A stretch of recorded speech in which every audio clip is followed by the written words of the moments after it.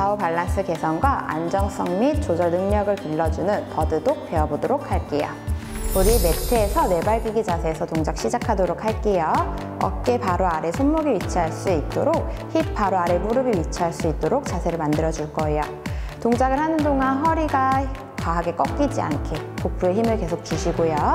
호흡을 마시고 내쉬는 호흡에 복부 긴장 오른손을 앞쪽으로 쭉 뻗어낼 때 왼다리도 같이 뒤로 뻗어줍니다. 손끝부터 더 멀어지는 느낌으로 동작해주시고 다시 천천히 돌아와 바닥 제자리. 마시고 내쉬는 호흡에 복부 긴장해서 반대쪽 다시 정면 제자리로 돌아오고요. 반대 동작 반복해 주실게요 이때 몸이 한쪽으로 치우치지 않게 주의해 주시고 최대한 아무것도 움직이지 않는다는 느낌으로 팔다리만 움직일 수 있도록 반복합니다 꼬리뼈부터 정수리까지 앞뒤로 더 길어져요.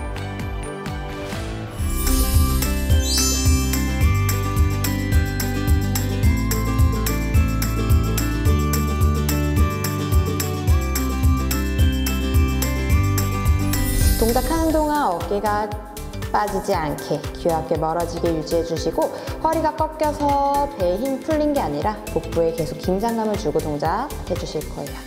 호흡을 마시고 내쉬는 호흡에 천천히 반대 손, 반대 다리를 바닥에서 떨어뜨려 줍니다.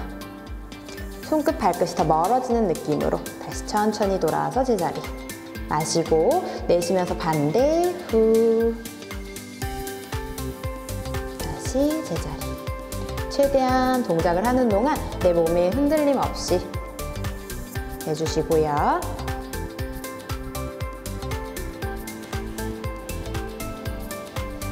척추를 계속 곱게 세운 상태로 좌우 밸런스 맞추며 동작해줍니다.